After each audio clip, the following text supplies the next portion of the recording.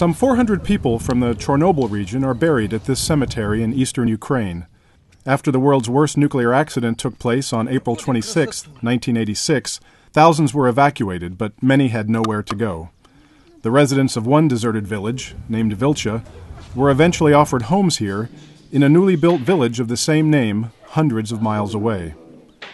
Olga Grachikova remembers the events that changed her life 25 years ago.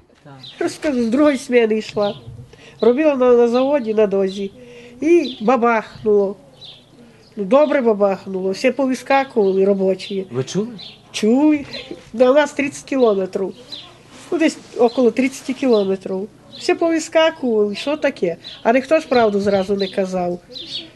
А на слідуючий день вже розвозили чорнобильців із Прип'яті, людей, що жили в Прип'яті. But Olga and her family were reluctant to leave their homes in the Chernobyl region, where they had grown up. It took years of warnings before they were convinced of the dangers there. Це вже мої батьки ось до мама і коло Це той. вже тут, так? Тут, а. Тут там таких немає. Ну, це ось до е, чоловік із е, сином, там теж ще на той вільчі фотографувались. Казали, що от селять, приїжджали до нас вже японці навіть, От врачі, і японські, ну, різні. І провіряли нас. Кажуть, що вас оце треба відселяти. Ви кажете, слухайте нікого, а давайте їдьте. Ну, батьки мене переїхали в 93-му. Ми переїхали в 90, навіть в 92-му вони приїхали, ми в 95-му. Ну вже ж, ну, в мене все четверо дітей, четверо родились там, в зоні. Even after the family resettled here, in the new village of Vilcha, the effects of Chernobyl followed them.